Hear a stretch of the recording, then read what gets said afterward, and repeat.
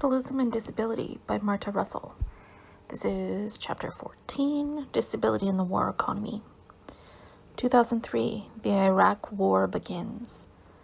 I happen to be one of those movement people who do not believe disability, civil rights, or equal opportunity will equate with a reduction of government outlay. To my way of thinking, equity and inclusion for disabled persons under capitalism will mean ongoing government supports, not ending them via welfare reform for some mythological libertarian independence in a free market storybook. Entitlements and rights must go hand in hand to advance disabled people's liberation. We need to be damned concerned about what Bush's cronies are doing inside the administration and beyond it. Under the cloak of words like human rights, free markets, and democracy, current U.S. foreign policy makers have embarked on a long planned military imperialist aggression that will cost billions of tax- taxpayer dollars. At the same time, the Bush administration demands more tax cuts for the richest Americans during times of recession that has left massive de- deficits and will leave them for years to come. This portends a further narrowing of social programs, read restriction of civil rights, and a rollback of expenditures on public health care, education, and social services. Across the nation, the official unemployment rate is over 6%, double that to include those who have given up finding a job. Teachers are being laid off, schools closed, healthcare pared down, in home support services curbed, college aid slashed. How can that happen in the richest nation in the world? Since 1973, the reigning economic ideology has been neoliberalism. Under neoliberalism, the elites moved to protect the rates of investment profit by appropriating an increased share of the Treasury's surplus in light of the steadily slowing growth of the global economy as a whole. If the elites and corporations get more and the pie doesn't get that much bigger, like now, the people get less. At a time when inequality is at a 70 year high, Bush has given the rich $1.6 trillion in tax cuts. The predicament is dire. Sources estimate up to, or estimate up to a trillion dollar deficit each year for the next five years. A Brookings Institution study shows that Bush's militarism will require a 40% cut in spending on discretionary programs. Items like IDEA, Individuals with Disabilities Education Act, Housing Assistive Technology over the next decade. More extreme Republicans reported London's Financial Times actually want what New York Times economic columnist Paul Krugman called a fiscal train wreck. Proposing to slash federal spending, particularly on social programs, is a tricky electoral proposition. FT said, but a fiscal crisis offers the tantalizing prospect of forcing such cuts through the back door. Bush funding formula changes meant nearly 3.9 million children, over 1.2 million disabled people, almost 690,000 seniors, and approximately 1.7 million other adults stood to lose health coverage, according to Families USA. Current policy can be dropped at the feet of the neoconservatives, neocons, running U.S. foreign policy Remember when U.S. Army Brigadier General Vincent Brooks unveiled pictures of 55 unwanted men from Saddam's administration at a briefing at Central Command in Qatar? These were pictures of those whom the U.S. wanted chased, caught, or killed. The Trade Regulation Organization, a spoof on the World Trade Organization run by the Yes Men, a loose knit group of online hoaxers, then issued a 55 most wanted playing card deck similar to the one the Pentagon issued in Iraq. The heads here, though, are the neocons and American Enterprise Institute think tank fellows who have moved national policy to that of preventative war and opened the door to unilateral attacks on any nation deemed a threat to U.S. interests. In this deck, Bush factors in only as a four of clubs, but the headshot of Bush in front of the Great Seal of Office makes him seen to be sporting a halo. Secretary of Defense Donald Rumsfeld is the ace of diamonds, and Bush senior advisor Karl Rove is the ace of clubs. The ace of spades in the deck is Dick Cheney. Iraq War, I was good to Cheney financially. Or oh, Iraq War 1 was good to, to Cheney financially. While Cheney was CEO of Halliburton, its subsidiary Kellogg Brown and Root got a lucrative contract to reconstruct the demolished oil fields. Halliburton is reportedly setting aside even more sums of money for Cheney when he leaves public office. Norman Podhoretz, editor of Commentary, and Irving Kristol, editor of The Public Interest, two of the most influential leaders of the neocon community, are missing from the deck, a major oversight since they have buoyed the neocon line for the American public but publishing magnate Rupert Murdoch is the king of hearts. Irving's son William Kristol edits Murdoch's magazine, The Weekly Standard. Podhoretz once claimed that the neocons shook the position of leftists and liberals in the world of ideas, and by doing so cleared the way to the presidency of Ronald Reagan. The neocons, William Bennett is, almost, is also amongst them, diagnosed the 1960s student unrest, counter cultural movements, concern for poverty and racial justice, and the women's liberation movement as cultural problems, a moral breakdown in society. They attacked social welfare programs because these programs, they claim, caused dependency on government rather than the corporation. Ending dependency was part of the economic rationale for passing the ADA. Crips will get jobs and they'll quit taking government handouts. The American Enterprise Institute, AEI, is a well funded right wing think tank that for years has been making the case for getting rid of entitlements. Bush has appointed some 20 AEI fellows to his administration. Richard Perle, who resigned his chairmanship of Bush's Defense Policy Board over a business conflict of interest, is a fellow at AEI. AEI sees entitlement spending as consuming too much of the budget and doomed to programmatic failure. The neocon directive is toward increasing the military budget and national security. Freedom at home means fewer entitlements, fewer jobs as well. Freedom abroad means military might to impose rule that will carry out the interests of the U.S. corporations. Michael Ledeen, holder of the Freedom Chair at AEI, says Every 10 years or so, the US needs to pick up some small, crappy little country and throw it against the wall just to show the world we mean business. Reports the National Review's Jonah Goldberg. It's actually better planned than that. If Americans had looked deeply enough, they would have found the rationale for war in the Middle East laid out in the Project for the New American Countries or the New American Centuries 1997 Statement of Principles. The group is not a secret cabal, nor are its goals any conspiracy theory. It was run out of Kristol's Weekly Standard office and is available online. The statement signed by Rumsfeld, Podhoretz, Cheney, Bennett, and Enron's Ken Lay, plus a few others like the president's brother Jeb Bush, asserted that conservatives had not fought for a big enough military budget and vowed to maintain American security and advanced American interests in the new century. The language is clearly imperialist.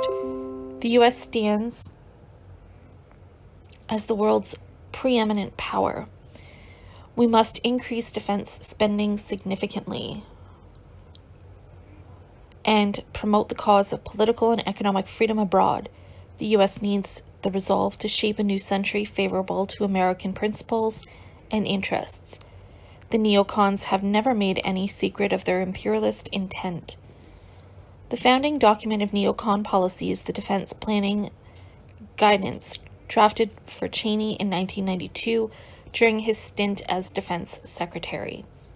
Written by Paul Wolfowitz, now Bush's Deputy Secretary of Defense, and Scooters Lewis Libby, then Cheney's chief of staff and another AEI fellow, with input from Rumsfeld and four of Diamond, Diamond's Jeb Bush.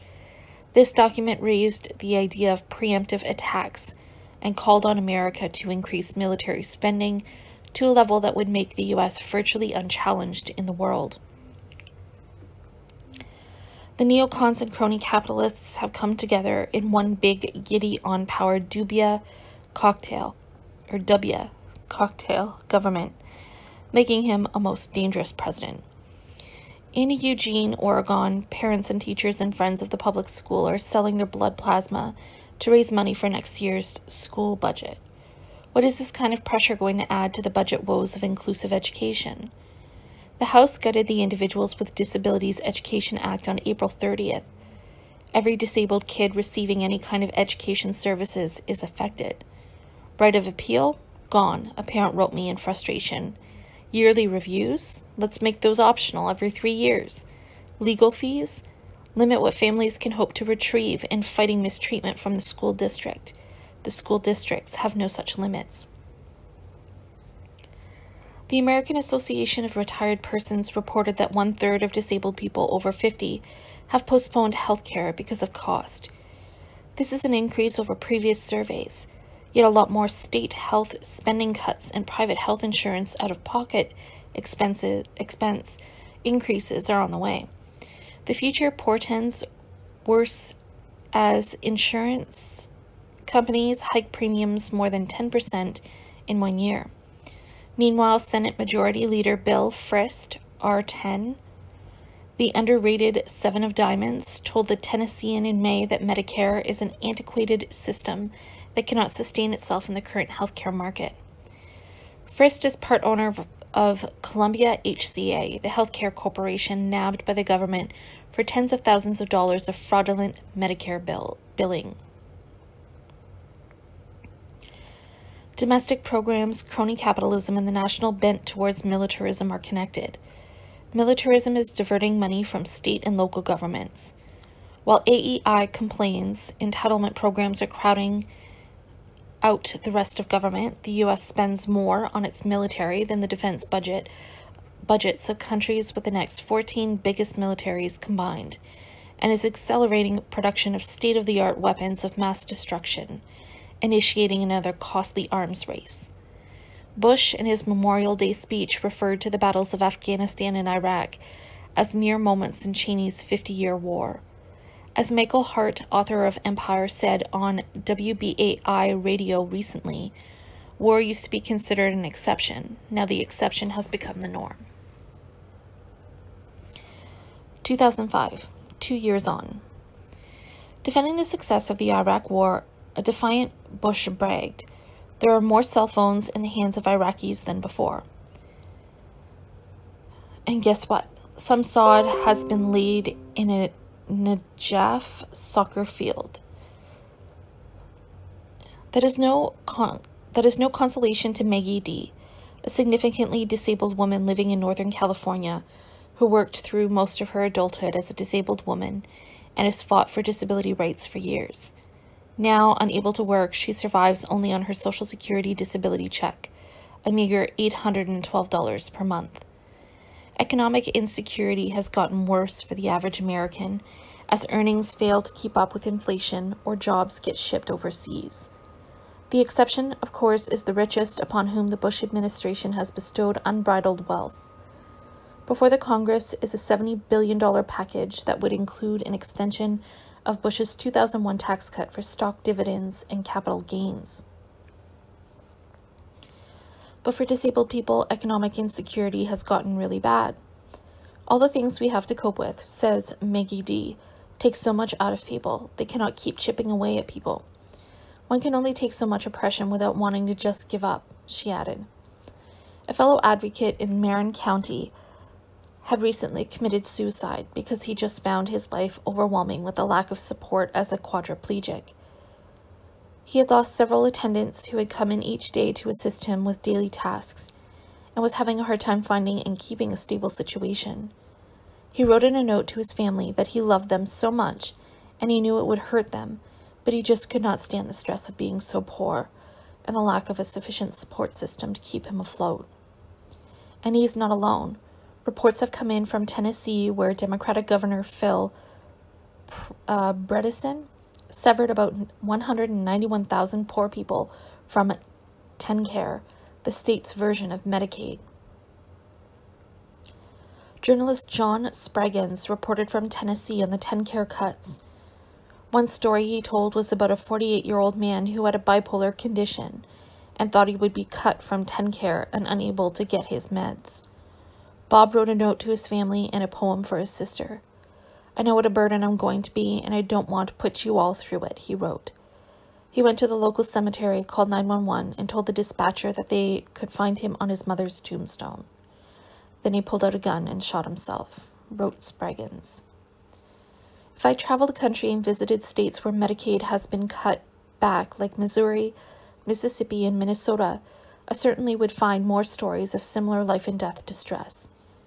Maggie's benefit amount would have been increased by $48 starting January 1st, 2006, were it, were it not for Republican Governor Schwarzenegger and the Democrat nominated California legislature that made a budget compromise in which disabled people who rely upon supplemental security income would be denied both their federal and state cost of living increases for 2006. SSI cost of living increases are small but greatly needed. This year, the increase due is 4.1%. $24 are due to those on SSI from the state and 24 from the federal government, but they won't see that $48 at all. They may get $24 in April if the state keeps its word. So in April, Maggie may have $836 to survive on each month, while the state pockets the federal $24 pretty much for good. Meanwhile, the California legislators, who are the highest paid in the country, will see a 12% increase in their salaries, bringing their salaries up to a whopping $110,000, 800 oh, sorry, $110,880,000 per year. That is their cost of living increase. California lawmakers also receive $153 a day in expense money when they are in session. Says Maggie, they are taking our SSI money and giving it to themselves. There's no deficit in California this year. Is that any consolation to anyone with any sense of social or economic justice? Look at how the state has done it. The disparity is so great that there are no words for these wrongful acts. What is happening to poor disabled persons at the state level is happening at the federal. The squeeze on poor disabled people goes deeper. Section 8, low income rental assistance, voucher formulas have changed. Once, disabled people paid one third of their income for rent, while the federal government paid the rest, up to the established federal rent rate for the area. Now, public housing authorities are taking a greater share of, of people's income.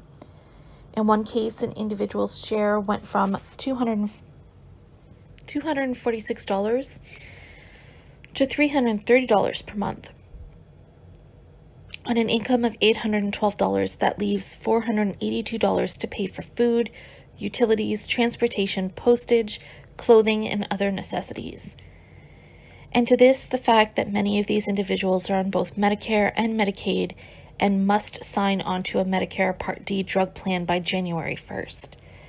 They will go from having no copays to paying 2 to $5 per prescription.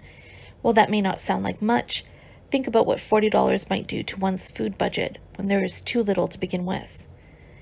It is a humiliating, debasing, demeaning life this nation condemns on poor disabled persons. There is more to come. House and Senate Republican leaders have edged closer, at the time of this writing, toward an agreement to cut as much as $45 billion over the next five years from domestic programs like Medicaid, food stamps, student loans, and children's support enforcement. Big money in control of government cuts, taxes for the wealth or for the wealthy and corporations at the expense of the rest of us.